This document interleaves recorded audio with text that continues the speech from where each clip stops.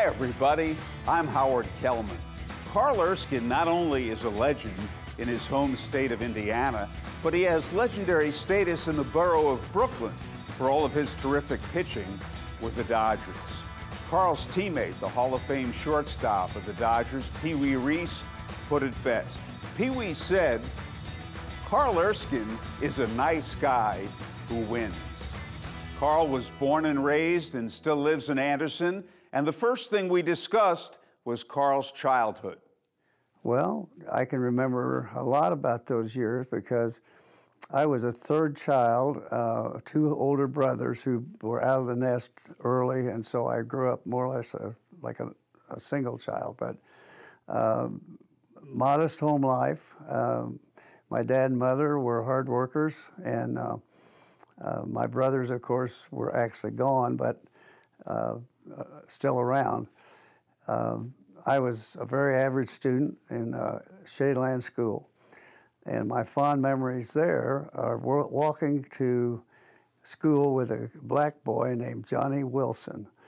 And it turned out that Johnny was a jumper, a high jumper, and a basketball rebounder, jumping Johnny Wilson, who went on to play with the Globetrotters and the Chicago American Giants in the Negro League.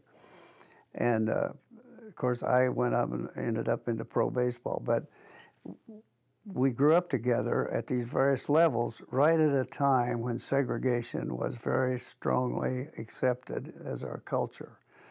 And so I, I grew up in a mixed neighborhood and knew a lot of uh, wonderful black families.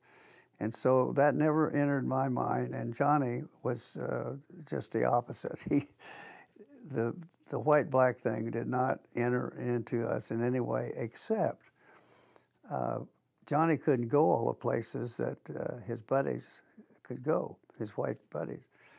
And Jack Rector, who was my catcher in high school, and Johnny and I, we were inseparable. We just stayed together, played in the street, played all the sports you can name in the street, uh, 13th Street in Anderson. And uh, so I grew up that way uh, as an athlete.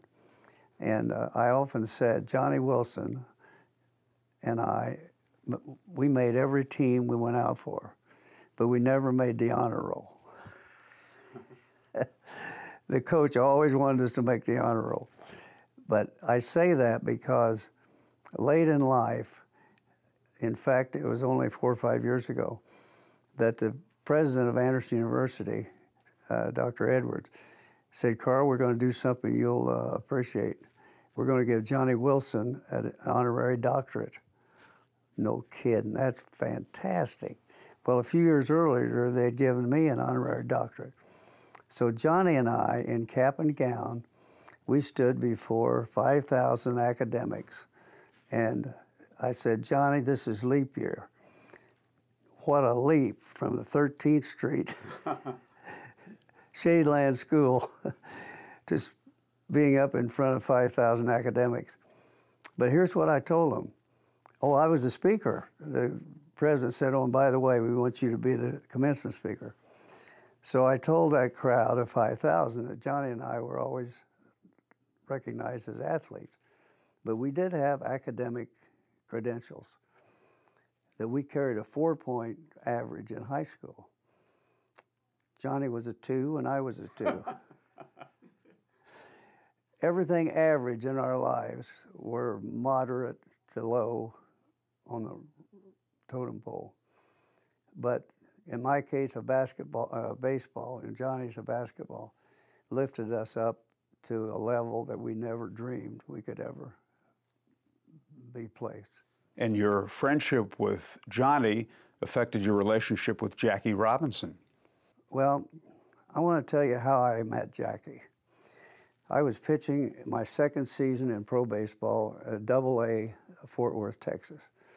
And the big team, the real Dodgers, came to play uh, an exhibition game before the season opened, and uh, at Fort Worth, which was one of their affiliates.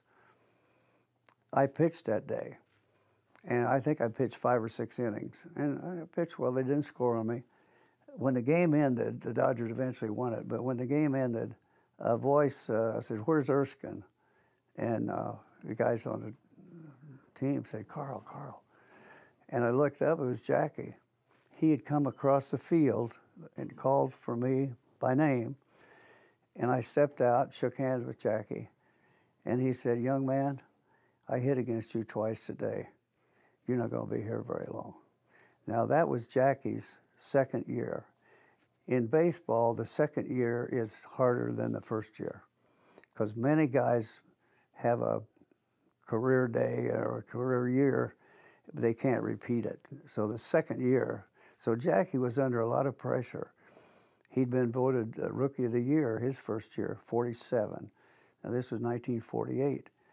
And so uh, for Jackie to and they just initiate that meeting with me, I can ever be so grateful to think he would see something in a minor league kid that he would come over and give me that kind of encouragement. So I won 15 games by mid July at Fort Worth, and I was called to the Dodgers. The first guy to my locker was Jackie. He shook my hand again and he said, You couldn't miss. Now that was our meeting. And so that established a very strong, uh, eventually a strong friendship, uh, as well as a teammate. But one day early in my career, I came out of the clubhouse at Brooklyn, and the fans were uh, outside a, a fenced in area, but the families could meet inside that. And uh, so I just went out of the clubhouse one day at the end of a game, and Rachel, Jackie's wife, and his little boy, Jackie, were waiting outside with the, the other families. And I spoke to some that I knew, and then I walked over and talked to Rachel and little Jack. Well, the next day, Jackie came to my locker and he said, uh, I want to thank you for what you did yesterday. I didn't pitch yesterday. No, I, he said, no, not that. You went out and you talked with Rachel in front of all the fans, and I, and I appreciated that. I said, Jackie, if I do pitch a good game, I'll take a congratulation, but that was so natural for me that I don't need any thanks for it. And so so Jack and I kind of established a rapport that, and he said to me, Why doesn't this black and white stuff bother you? I said two words Johnny Wilson. And I told him about our childhood days and together. And uh, so Jackie and I established a, a, not only teammates, but a friendship. And then I was privileged to play nine seasons with Jackie. And he saved a few ball games with for me. In fact, the giant no hitter, which my, was my second, uh, Jackie saved it. Uh, Willie Mays hit a shot uh, that should have been a base hit, and Robinson was so quick. His hands were quick. His feet were quick. That, that's different than being fast. Quickness, boy, he had quick hands, and he snapped that smash by Mays, turned it into an easy out he saved the no hitter. And one of the books you wrote was called What I Learned from Jackie Robinson. Yes, it's true. Well, the publisher wanted a different title. And I said, no, that, that sort of puts me at the same level as Jackie. Uh, I'm not comfortable with that. I learned too much from him. And they said, well, let's try that title, What I Learned from Jackie Robinson. What did I learn? the hardest thing I think for a man is to uh, contain himself. Now, Mr. Rickey signed Jackie, and in the process, Mr. Rickey also had signed me about a about a year after he'd signed Jackie. Uh, 45, I think, is when Mr. Rickey actually signed Jackie, and he signed me in 46. Um, well, Jackie was uh, such a, uh, a, fire fireball. The uh, players in the Negro League said, uh, "I hope Mr. Rickey doesn't pick Jackie because he got too hot a temper and he'll never contain it." And uh, so Mr. Rickey was one of the wisest men. Know, he was shrewd with his deals in baseball and all, but he has he had a deep wisdom in himself about connecting with people. And when we'd have one on one interviews with Mr. Rickey, uh, he hardly talked about baseball. he said, um, What do you do in your spare time? Do you have a girlfriend? Uh, what's your father's hobbies? I mean, he just probed and probed to see who you really were. That all related to pressure that we were going to face as young. We were 21, 22. Now, Jackie was a little older than that, but but he had one-on-ones with us a lot. And um, when he had his one-on-one with Jackie at the meeting that was going to either make this experiment work or maybe not have a chance, um, he said to Jackie, "If you had, if we had a fight on the field and you were in it, you'll win it. You're stronger, quicker, faster than anybody on the field. So if there's a fight breaks out, you're going to win it." But he said, "You got to answer this question: Are you strong enough not to fight?" Now, to say that to a man who wants to be manly, most of us imagine we are. he said, Can you answer that question for me? And I think, according to what I've heard Jackie say and Mr. Rickey say, Jackie didn't answer right away. He was born in Cairo, Georgia, as a sharecropper's son and suffered all the indignities of blacks in those years. He must have seen that pass before his eyes before he answered. But Jackie finally said, I can do it. She said, You've got to, you've got to promise me now that you will not fight. Then he pulled a book out of his uh, desk drawer, uh, Papini's Life of Christ, and he read to him a paraphrased version of Turn the Other Cheek. So that was the charge that he gave Jackie, and Jackie agreed to abide by it. Now, what happened in real history? What happened daily in Jackie's life? Well, you can't imagine the indignities that were placed on Jackie. He was in a Dodger uniform and he could perform on the field like nobody else. But when he took his uniform off, he was just a black man in America. So doors were closed in many places for Jackie. So that was an indignity that any of us would want to fight back. But on the field, I played with Jackie nine seasons. I never saw one time, any time, in the parking lot, on the field, any place. And it's recorded nowhere where he fought in a restaurant or a hotel lobby or any place that was the greatest display of self discipline I ever saw anybody. And I think it is a key to the success that Jackie had because he eliminated the one thing that Mr. Rickey inferred if you fight, this experiment's over. It'll be centuries again before we can overcome segregation. So if you wanted to put one thing that Jackie did, he could hit, he could run, he could throw. He was exciting to watch play. He's a Hall of Famer. But his self discipline, his ability to control his himself was beyond anything. I can't imagine me ever being able to do it. Now, Jackie's in the Hall of Fame. There's something very symbolic about the plaques that hang around this beautiful oval shaped room at Cooperstown. The plaques are all the same color, they're all bronze. Jackie fits right in there with the greatest. Carl Pee Wee Reese's role with Jackie Robinson has been well documented, but Gil Hodges also played a very prominent role.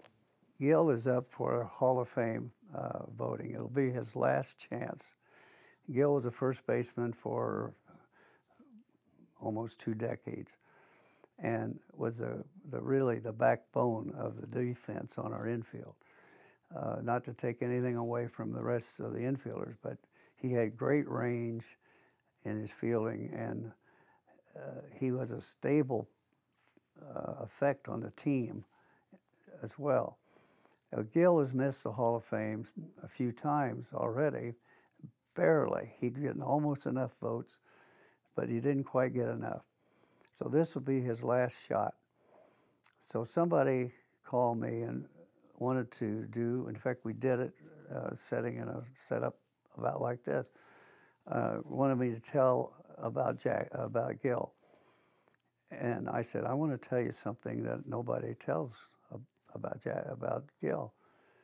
He was a peacemaker on the infield, and they often said, "Well, Pee Wee Reese played right alongside of Jackie," and that meant he was a big supporter of Jack of Jackie. And I said, "Well, Gil played right next to Jackie on the other side." And when there was a pileup at second base, could have broken into a fight. Hodges, a peacemaker, he's on there throwing guys off the pile mm-hmm. and keeping the peace on the infield. And I'd say he gave physically a, a major support to Jackie in his first couple years that, that avoided uh, a fight or a, a, near fight. And I think that counts. It's not in his stats. It, there's no place to show it in his baseball stats. But if they could say to Pee Wee, played alongside of Jackie, you have to recognize Gil did on the other side but he did physically a lot to help Jackie get through those first couple years. Now, when you got to the big leagues, Carl, in the beginning you were used as a relief pitcher. Most guys are before they uh, come in as a starter. It's something interesting about baseball. Uh, football will take a college quarterback and put him right in the lineup in the N- NFL. Same way with basketball. You can take a high school or a college quarterback or other positions. Go right at you. Never, I've never, Howard, you might correct me here, but I've never seen a baseball player come from high school or college insert right in the lineup in the major leagues. It's just not possible. Koufax was one of the great pitchers of all time, but his first five years, he was a mediocre 500 pitcher because he never got to go to the minors because of a bonus rule. And so baseball is different in the sense that you you, you have to get more train there's more skills broadly involved in baseball, I think, than in, in other sports. Carl, the Dodgers won the pennant in 49, your first full year, came close in 1950, and then the disappointment in the playoff game against the Giants in 51. Well, Mr. Rickey had come from St. Louis, where he was general manager and maybe part owner, to Brooklyn in the early 40s. And um, I won't remember all these uh, years exactly right, but it was after World War II when Mr. Rickey began to rebuild the Brooklyn Dodgers. so, in rebuilding the Dodgers, who had always been known as a kind of uh, mediocre team, second division team, and also had a reputation for running wrong way on the bases, uh, getting hit on the head with fly balls. And so they were, uh, there's an old uh, bromide joke that says a cabbie pulled up one day in front of Ebbets Field, and an usher was standing outside uh, taking a break. And the cabbie yells at the usher, What are the Brooks doing? And the, and the usher says, They got three men on base. The cabbie said, Which base? they had that kind of a reputation that they were just a bunch of clowns until Jackie showed up. And Mr. Rickey then began to build this team, uh, a post war team, and youth was a priority. Uh, it affected me a lot because I was 20 years old in the minors, and uh, Mr. Rickey was looking for any promising young players to rebuild. But he had a couple of good. Hodges was on the team uh, right after the war. Pee Wee was, uh, Reese was on the team right after the war, and I think Furillo might have been. So around those three plus Jackie, Mr. Rickey began to build the team, which later become, became known as the Boys of Summer. And I was accelerated right up through the system because I was uh, having some good years in a minor, a couple of good years in the minors. And uh, so Mr. Rickey brought me up in 1948. And uh, I was overwhelmed when I went to the first spring training. There was over 790, I think, players under contract in the Dodger farm system. 200 of them were pitchers. Holy cow. I think I'm going to be working at the plant in Anderson to beat out these guys. There was a writer in New York named Jimmy Cannon. And Jimmy Cannon was, didn't travel with the teams. He wasn't a beat writer, but he was a feature writer and a, a really unique style of writing. And 50 years after uh, these years I played, they began running some reruns of Jimmy Cannon's articles. And a guy sent me one. It was Mr. Rickey commenting on me. I'd never heard any of this from Mr. Rickey directly. But uh, Cannon said to him, Now, this Erskine boy, he's not very big. Uh, what do you like about him? Oh, he's big enough. Well, uh, you, you paid him a bonus. You must have liked something else about him. He said, Well, this boy can learn anything you can teach him. Now, I'm telling you, that's the highest compliment that you can pay a, a player, I guess. But here's what was behind Mr. Rickey's wisdom in a lot of his trades. He, li- he said, if you go to a ball game, you, anybody in the stands can pick out the star. He's going to stand out. There's raw talent. I want the boy with raw talent who has aptitude, who can embellish, improve, refine his t- raw talent. Or is he always going to be just a hard thrower, never any finesse, never any real touch of pitching? Now he said, Erskine, I've had him long enough to know that he can, whatever you can teach him, he'll learn in a hurry. I never heard that from Mr. That's great. That's great. Now, 1949, your first full year, Dodgers won the pennant, come close in 50, and 51 the playoff with the Giants and the disappointment there. Well, uh, that was the most unusual year. Uh, there's a writer in uh, Chicago. You'll na- you'll help me with his name, Royko. Mike Royko. Mike Royko. Okay, he had uh, two targets in his writing: the politicians in Chicago and the Cubs. And he had a he had a theory, the Cub theory. He said, if any team, I don't care how good they are, I don't care what the record is. I don't care how many stars they have. Royko said if they trade and they take two Cubs or more, they're going to lose. that was his theory. Now, here's what happened in 1951. We made a trade in the early part of the year to get Andy Pafko, and we got two others or three others. We got Schmitz and uh, a pitcher, Terwilliger and, and uh, Walker, a catcher. But we wanted uh, Pafko. And so the season started, this was May of 1951. Uh, so the season starts, and we're dominant. The Dodgers are winning big time. And by August, we had a 13 and a half game lead against uh, our nearest rival was the Giants. And then something began to happen we didn't collapse. We played about 500 baseball. We had a 13 and a half game lead. In all, late August, the Giants began to close the gap. And the history book will tell you that before it was over, the Giants tied us and beat us in a playoff. Now, Royko says Branca got blamed for the pitch that Thomson hit, the most famous home run uh, in baseball history but really it was a cub factor. We got four cubs and lost, and we, we ended up losing the pennant. You were warming up in the bullpen when the decision was made. It was either going to be you or Ralph Branca. Yeah, yeah. What was interesting about that, uh, Ralph and I were up throwing.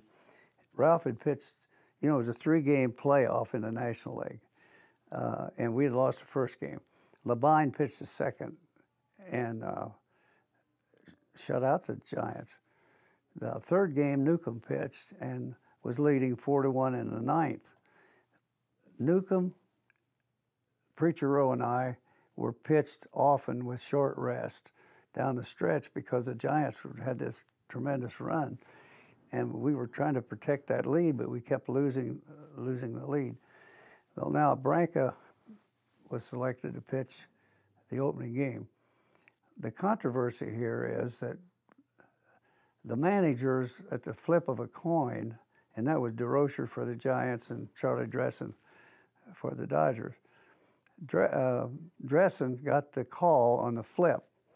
So he got to choose whether to play the first game at home, and if two more games were needed, they would be played in the polo ground. Charlie, for some reason, always unknown to me, he took the first day, first game, and Branca pitched the first game and got beat. Uh, I think three to one. I'm not positive, but Thomson hit a home run in that first game against Ralph. now Labine wins the second game. Now the playoff game is what you're referring to. That I was in the bullpen along with Ralph. Uh, Newcombe had given up a couple runs, and the score was four to two.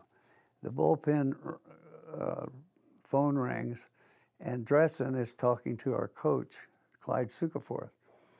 And uh, he must have asked Clyde, Are they ready?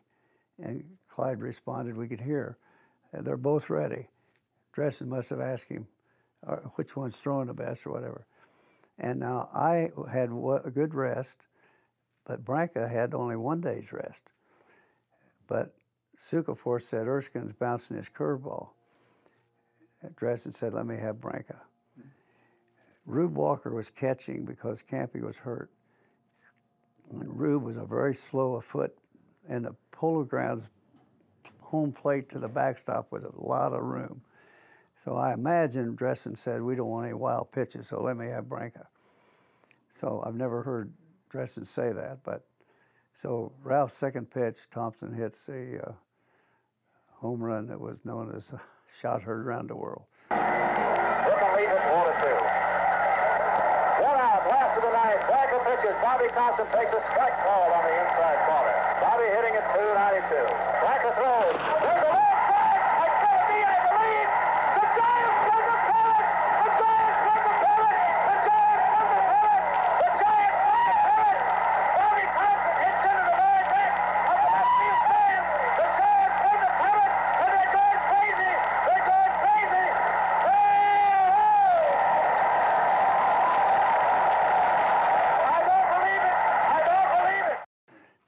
Famous. Now, I, people ask me, uh, tongue in cheek, I answer, Carl, what was your best pitch in uh, baseball? I said, the curveball I bounced in the bullpen. Carl, in 1953, you had a terrific season. You won 20 games, and then you set a World Series strikeout record, breaking Howard Ehmke's record, which was set back in 1929. Yeah, it was an unusual day uh, failure can be the greatest motivator in your life. I had failed opening day, uh, opening series in the in the Yankee Stadium. I pitched the opener and I had a very bad beginning, and got taken out early. Uh, we lost the game. I didn't get the loss, uh, incidentally, but that didn't matter. The team lost, and we lost the second game. Well, Dressen said, "I'm going to bring you back uh, in a third game. No travel day in New York. Uh, both teams there." So uh, I told my roommate, Duke Snider, Duke, I got to pitch like no tomorrow. I was supposed to pitch in three. I was supposed to start three games in the 53 series, and I was uh, strongly dependent on being dependent on. So I said, Duke, I got to pitch like there's no tomorrow. The Yankees were tough. They were a very strong team, but I had good stuff. And Campanella was my catcher, I suppose, for over a thousand innings. Campy caught me. Uh, my good, my stuff was good. Three basic pitches: fastball, overhand curve. That was exceptional that day. I kept kept it low. I kept it in the right spot. I didn't know about the strikeouts piling up. It was a close game, one to one, two to two. Campanella hits a home run in the bottom of the eighth to give us a three-two lead. And now I face the ninth, and uh, they sent up three left-handed pinch hitters. Don Bollweg, who I knew from the minor leagues, uh, was a low fastball hitter. I struck him out on three straight fastballs. And the next left-handed hitter was my nemesis, Johnny Mize. I never pitched to Ted Williams because we never met in the postseason, but with the uh, Red Sox. But I had been in several games against uh, Mize. He had he had owned me. He had hit some two or three big home runs off of me. He's a second hitter. I got two strikes on Johnny Mize, and I threw my overhand curveball and struck him out. For the that was just poetic justice because the, Billy Martin and some of the uh, Yankees said when I was striking out a lot of guys on the Mize was sitting on the bench saying, "You guys don't know how to hit Erskine. Wait till I get up there." and so when he came back to the bench after he was a 14th strikeout, the the record setter, that was like poetic justice. And uh, Billy Martin said we gave him the silent treatment when he came back. Finally, Billy said, "I told him that's how you hit Erskine now." So, well, that was that was something I never even fantasized ever owning a World Series record. Uh, but when Koufax broke it, at 15, 10 years later to the same date against the same team, when I came home, my son Gary said, Dad, don't worry about that record. Koufax is left-handed. You got it for right-handed pitchers. so, so he wanted me to still own it. Carl, then in 1955, the Dodgers win the World Championship for the first time. Well, it was an interesting year. I pitched opening day that year against the Pirates and got to win. And we went on to win 10 or 11 straight. And we lost one, and we won another 10 or 12 straight. We never uh, gave up the lead all year, we were wire to wire. And what was unusual about that, the two pitchers who should have been dominant in the series was was Don Newcombe and me. We were the backbone of the starters. But a rookie named uh, Roger Craig won a game, and Johnny Podres, who was an eight and nine season record, won two games. I think he won the third and the seventh, and uh, pitched a shutout the last game uh, in Yankee Stadium. Well, I think the team, honestly, was so relieved to finally take a championship back to the Dodgers uh, in Brooklyn because they had suffered through their whole uh, existence and never won a World Series. So the 55 team will go down in history, I think, as the best Brooklyn team.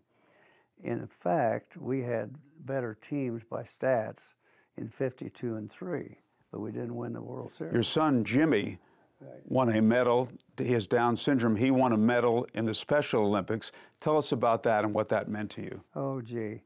Well, you know, there's a parallel between uh, Jackie's experience that I was privileged to uh, live through and my son Jimmy, who became a Special Olympian.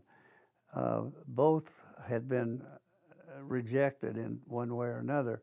And so that was an interesting uh, life to have experience with Jackie and now experience with Jimmy.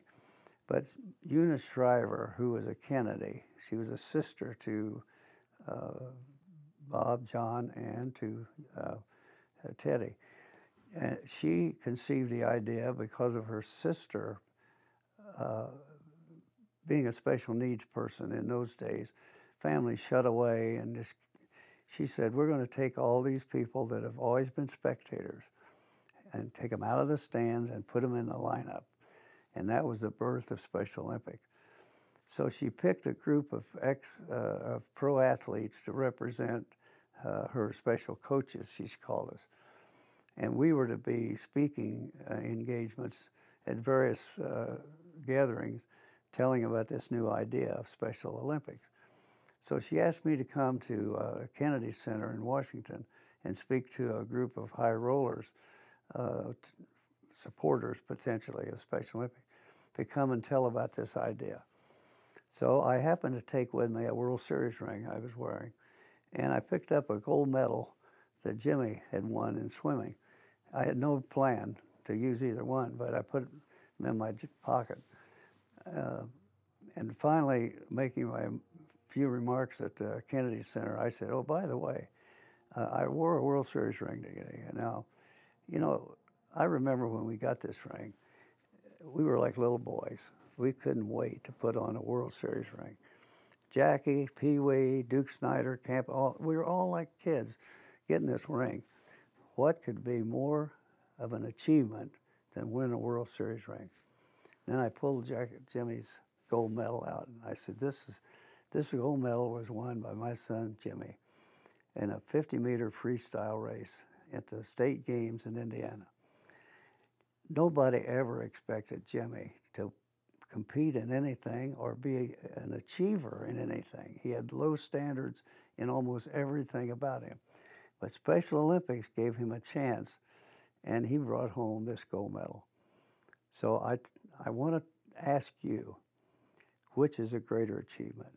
We were Hall of Famers, superstars, all that stuff. We, we're supposed to win. This was never supposed to happen. Well, Mrs. Shriver was so taken with that. She said, Oh, you got to go to Chicago next week.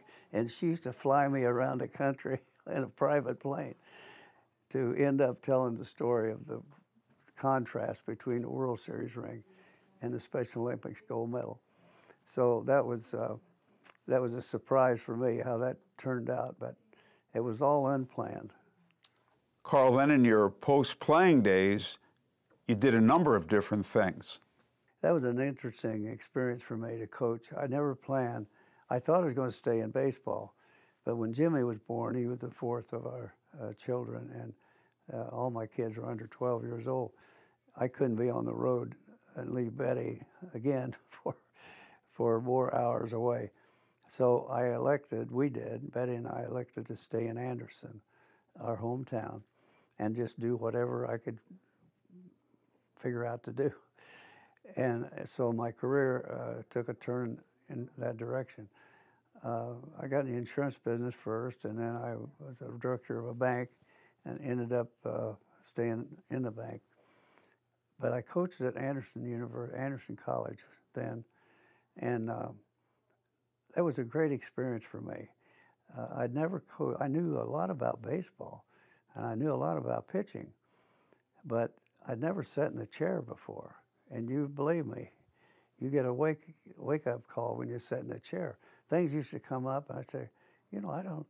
I I called a pinch hitter one time and I put him in the lineup, and the umpire said he he called him out, and I walked up there, and I said to the umpire, my gosh, did my boy uh, say something wrong to you or what happened? He said, no, you didn't report. I'm saying, you're reporting basketball. You're, I don't remember ever reporting in baseball. Hmm. so, so I looked at the umpire right straight in the eyes and I said, they thought I knew the rule book inside and out. I said, Are you quoting a rule that's a league rule or a baseball rule? And I knew his eyes told me, I don't know where that rule came from. So I walked back to the coaching box. He called the other coach up and they chatted a minute. He said, Get in there and hit. So I couldn't wait to find a rule book and see if there was a violation, a penalty for not reporting, because you have to tell who's coming in to replace who.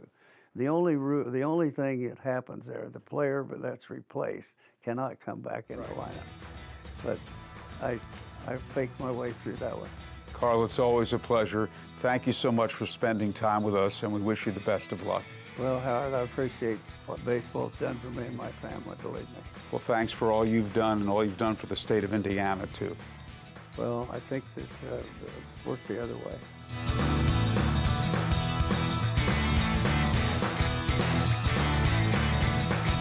Pee Wee Reese was right. Carl Erskine is a nice guy who wins, and Carl has helped many others succeed as well. Thanks to Carl, and thanks to all of you for watching. I'm Howard Kellman. Good night, everybody.